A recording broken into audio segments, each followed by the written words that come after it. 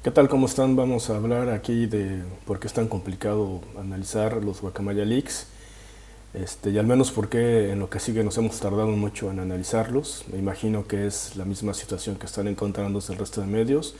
Y un dato importante, pocas personas han podido descargar los archivos y extraerlos, es un proceso que lleva bastante tiempo. Se requiere además este, un equipo bastante caro, bueno, en relación eh, con otros equipos para poder descargarlo. Y por otro lado, la mayoría de medios están utilizando una versión online, que es la que les voy a mostrar, obviamente testada, para evitar mostrar información confidencial. Este, y hago este video porque he estado escuchando últimamente estos días una este, serie de declaraciones que a mí me parecen irresponsables. Este, creo que todavía no se conoce el alcance de los Guacamaya Leaks, pero lamentablemente va a tener que ver mucho con el tiempo en que van a tardar en procesarse y en encontrarse información que, que no es tan fácil de procesar. Eh, hay mucha información que es bastante clara, ¿no? que en el encabezado dice de qué se trata, pero mucha información no dice de qué se trata. Pero ahorita les voy a mostrar a qué me refiero. Este, vamos a poner aquí. Este es el buscador eh, de correos que a uno le, facilita enlace activista o video secrets cuando uno pide acceso. Y como pueden ver se trata de un buzón de correo. ¿no? Este, aquí vienen las fechas. Eh, y aquí viene de, dónde viene y hacia quién va dirigido el, correo. ¿no? aquí vienen los, los asuntos. ¿no? Vamos a empezar por el, el primer reto. Por ejemplo, si uno le pone en el buscador Ayotzinapa, pues aparecen 6.179 correos. Y si uno quiere buscar por fecha, este, tiene ciertas limitantes el buscador. ¿eh? Para eso hay que buscar la búsqueda avanzada. Este, por ejemplo, entre 2009 y la noche de Iguala. ¿no? Está.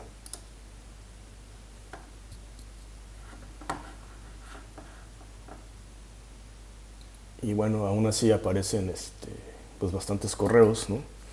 Y hay que revisarlos uno por uno.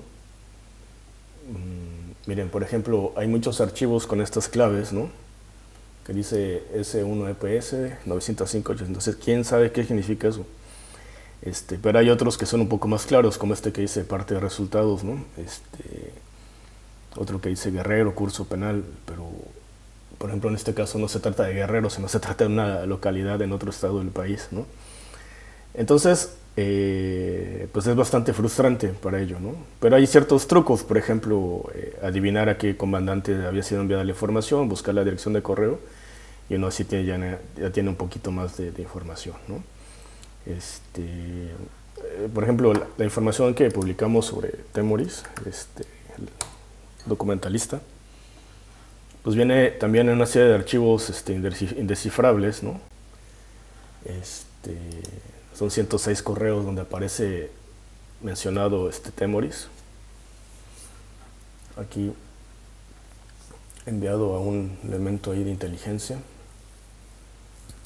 y como pueden ver este pues estos archivos son pues no se puede entender a primera vista de qué se tratan solamente abriéndolos ¿no? ahora abriéndolos ¿no? este pues vienen este, una serie de retos porque pues hay que abrirlo y no sabemos si ese archivo está infectado o no y bueno es, es, como una de las razones por las cuales es un poco complicado ¿no? ¿Qué otra cosa les quería mostrar? El tema de las fechas. Eh, uno, para ya acabar con ese debate, creo, es importante que en la versión online, es probable que en la versión descargada eh, la información sea incluso más, este, más vieja, pero al menos en la versión online la información llega hasta el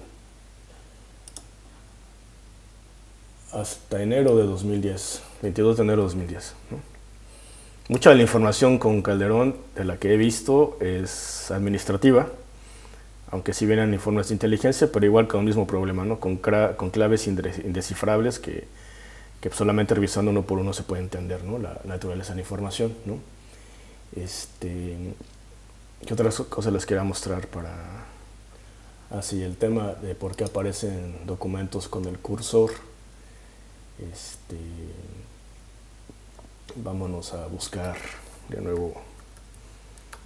Ah, vamos a buscar el, correo de Tomás Cerón.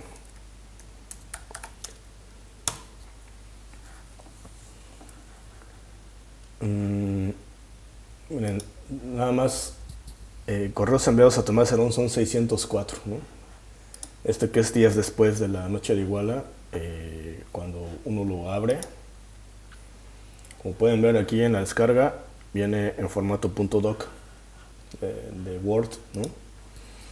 Y al abrirlo, igual este archivo ya, ya lo revisamos, ya lo publicado en varios medios, no, no tiene información comprometedora. Si pueden ver, aquí aparece el cursor, uno le hace captura de pantalla, este, pues aparece el cursor y cuando uno pues, le mete a ver el documento, pues totalmente editable, ¿no? Este, sorprende que en el ejército mandaran tanta información eh, en estos formatos en .doc, porque este documento es confidencial, este, dice, es confidencial, es un informe de inteligencia.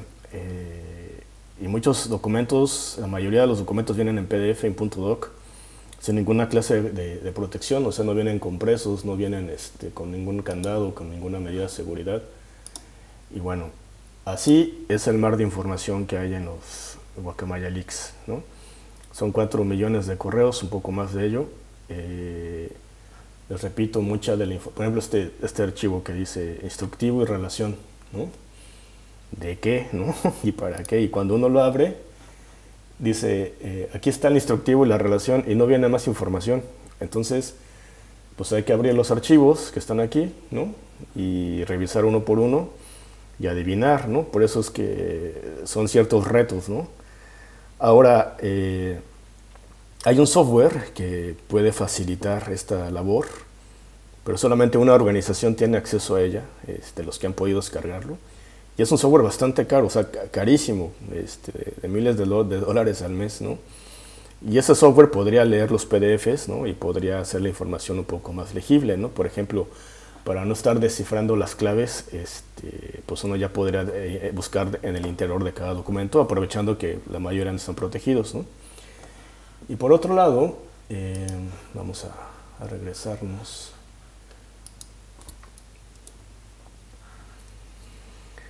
Eh, por otro lado, este,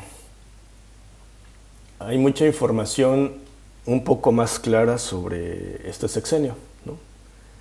A mí me sorprende, por ejemplo, este, la cantidad de información que, que es bastante clara, ¿no? Que tendrías que estar un poquito protegida. ¿no? En el periodo de Calderón no es tan clara, en el de Peña Neta comienza a ser un poco más clara, por ejemplo, ¿no? lo que he podido revisar.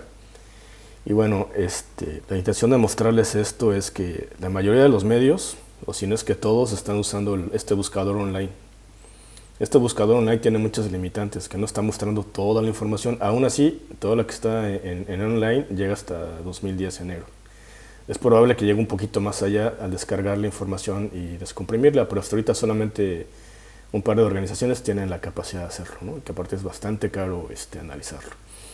Otras, solamente eh, pocas personas pueden este, analizarlo con un software potente. Entonces, va a tardar en encontrarse muchas de las cosas delicadas que hay aquí. Ahora, por otro lado, este, sobre qué viene aquí, por ejemplo,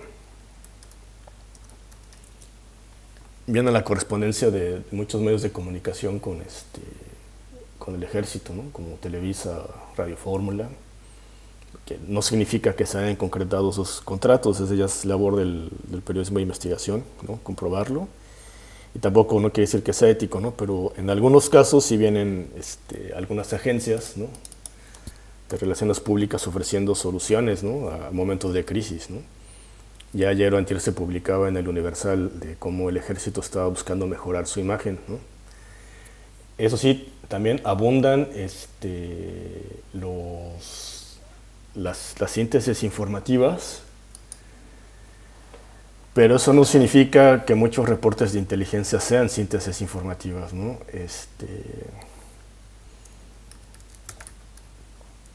en el caso de los colectivos, este, de las colectivas feministas. Ahora, todo lo que se ponga en ese buscador es lo que está disponible porque está escrito, ¿no? Pero hay mucha información que no, que no viene escrita. Por ejemplo, ese, ese archivo que les decía que dice relación, ¿no? Y en el cuerpo del correo aquí le mando la relación, pues no dice de qué se trata, ¿no? Este, por ejemplo, esta, ¿no? En el Zócalo se registra, esto sí es una síntesis informativa, ¿no? Pero hay algunos archivos que, este,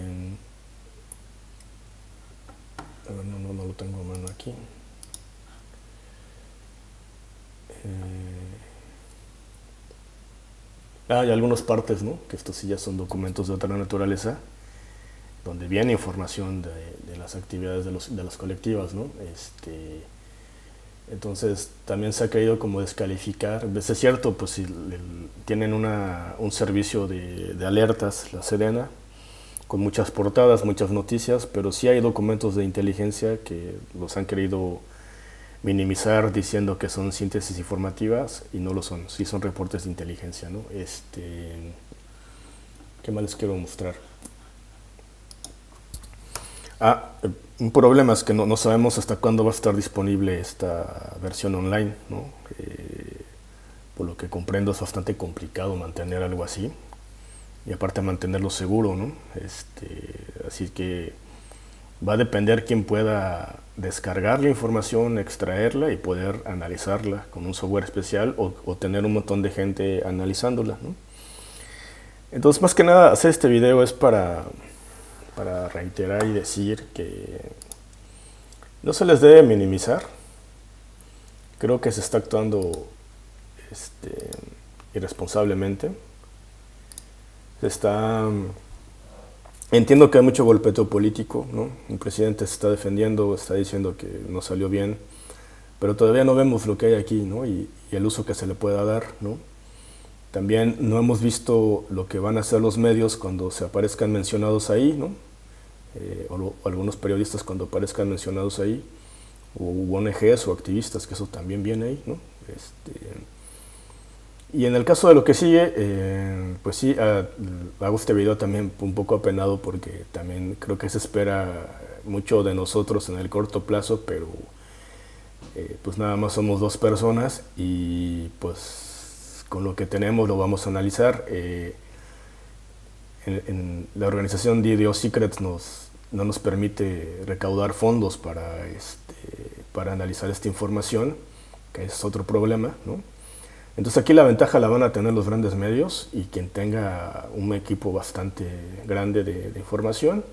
Sin embargo, nosotros nos vamos a, comprometer a, seguir investigando pues, lo que es de interés público, sobre todo de Yotzinapa, esos miles de correos que hay ahí. Este, y más bien nuestro gran trabajo principal va a ser el de explicar qué hay aquí dentro, ¿no? Eh, ayudar a otros periodistas y seguir las medidas de seguridad. Y aprovechando eso, vaya para aprender de este episodio de los Guacamaya Leaks, este, vamos a quitar aquí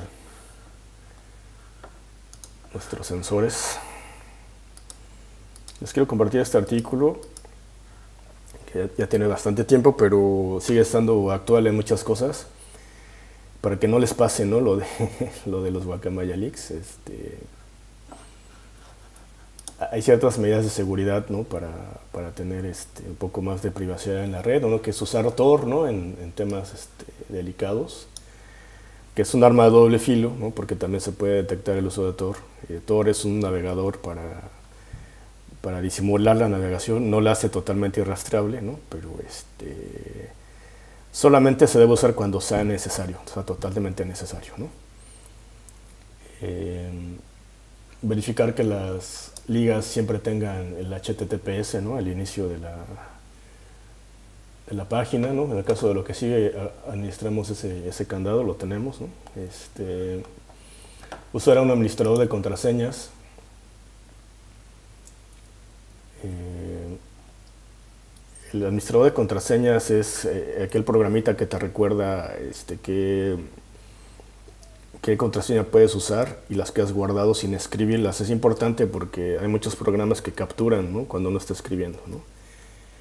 por otro lado, eh, hay que encriptar el disco duro y aquí hay, aquí hay un consejo que no viene aquí en este artículo, pero que yo siempre lo recomiendo en las asesorías que doy, es que en la computadora hay que tener dos usuarios, uno de administrador y uno personal. El del usuario solamente hay que usarlo pocas veces, eh, sobre todo al comprar la computadora hay que crear el de usuario y el, y el, de administrador y el usuario que vas a usar y el usuario que vas a usar debe tener eh, pocos permisos. Entonces, el, el, usuario administrador eh, que tiene todos los permisos no lo debes usar nunca y sobre todo cuando estés online, porque es la forma en cómo te pueden instalar muchos programas sin que te des cuenta. ¿no? Entonces, si no tienen un usuario personal y solamente han entrado con el primer usuario que le crearon a la computadora o a la tablet, pues ya tienen ahí un problema. O sea, este, yo les recomiendo que formateen sus máquinas, creen un usuario administrador, donde instalen todos los programas, todos los paquetes, todo. Y después, ya para trabajar y navegar, utilicen un, usuario más limitado, en el que siempre les pidan permiso para instalar cosas, ¿no? porque si no es un problema. ¿no?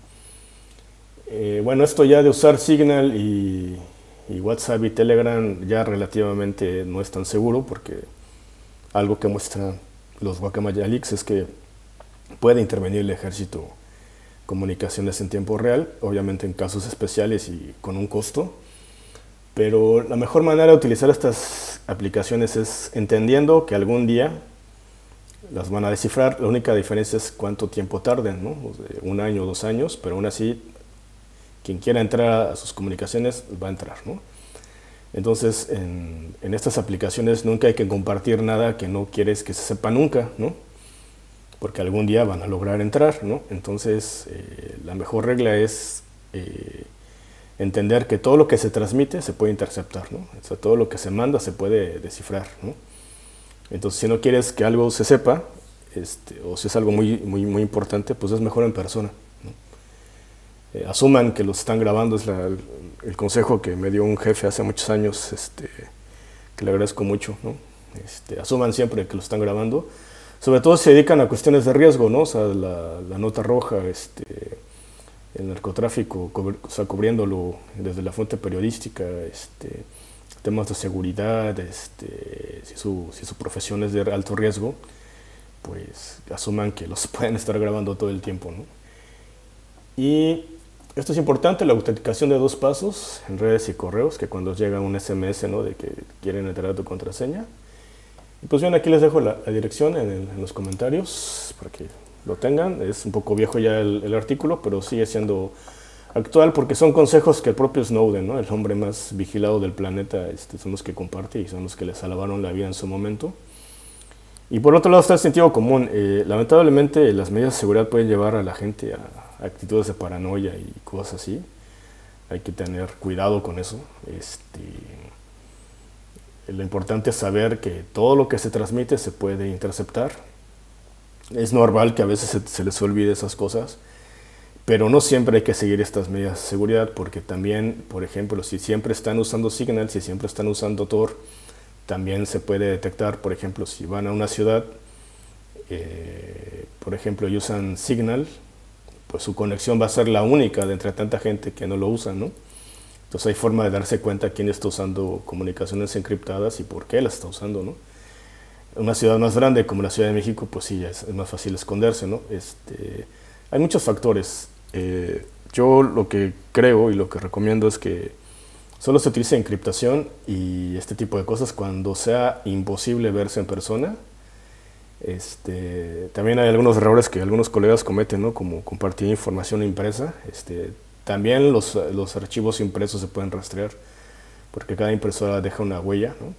Entonces lo, lo, más tradicional es a mano o, o, de preferencia nada escrito y, y, en persona, ¿no? pero también hay que relajarse un poco porque solamente para cosas muy, muy importantes. ¿no? O sea, vivir siempre bajo medidas de seguridad puede acarrear muchos problemas también eh, salud mental, eso hay que decirlo, ¿no? Este, hay muchas cosas que no se hablan. Eh, tiene que primar la prudencia, ¿no? O sea, qué tan importante es lo que quieres transmitir, lo que quieres publicar, lo que quieres ver, ¿no? Y asumir que todo el tiempo está siendo grabado, ¿no? Entonces, este, o puede estar siendo grabado, ¿no? Y tampoco caer en la paranoia y... Eh, muchas de las infecciones de, software espía es carísimo, ¿no? Solamente es utilizado en ciertos objetivos. Ahora, también es cierto que hay espionaje masivo, ¿no? que donde se intervienen pues, redes completas de comunicación. Entonces, pues ya hay que tener sentido común, ¿no? entender que casi todo es interceptable y que las cosas muy, muy delicadas, pues este, solamente en persona. Creo que es lo, mejor y lo que tradicionalmente ha sido, ha sido siempre lo mejor. Obviamente yo no tengo toda la verdad, yo porque si hay alguien que sepa más y puede compartir aquí unos consejos, pues podemos actualizarlos. ¿no? Pues muchas gracias. Yo les quería mostrar este tema del, del, buscador, porque es como la mayoría de los medios están buscando los Guacamaya Leaks, hay ciertos retos que toda la información no está descifrable. Y pues bueno, muchas gracias, espero que sigan. Ah, bueno, eh, es importante, este, vamos a poner aquí nuestra cara. Eh, eh, recientemente suspendieron la, página de, lo que sigue de, la monetización. Este, se los voy a mostrar, digo, porque también hay mucha gente que dice que acusa censura y luego, luego no es cierto. En nuestro caso no es censura, es simplemente que alguien reportó la página. Este, alguien reportó la página y ya no podemos monetizar. Eh, en nuestro caso es una tragedia porque gran parte del pues de la operación, ¿no? Este, de la página, llevamos 12 años, pues gran parte venía de AdSense. AdSense es la publicidad que luego aparece. Aún conservamos una publicidad, pero no genera tanto como la otra. Este, y muchos medios, muchos bloggers, por ejemplo, Julio Hernández, Rompeviento, este, Aristegui, por ejemplo, pues sí, o Sopitas. Esta publicidad sí es muy importante porque de ahí viene la mayoría de los ingresos, ¿no? En nuestro caso era así, entonces un golpe así de pronto pues sí nos pone en riesgo, o sea, no, nos impide operar, este, pero sí les pido su, apoyo y su solidaridad, los que puedan donarnos, ya hemos compartido por ahí algunas vías para, para donarnos, y es crítico para poder mantener este, la operación, ¿no? este, de cualquier forma pues, vamos a seguir como sea posible, ya apelamos dos veces, espero que en esta segunda vez nos, nos aprueben de nuevo la publicidad, y pues bueno, ahora sí, muchas gracias, cuídense mucho.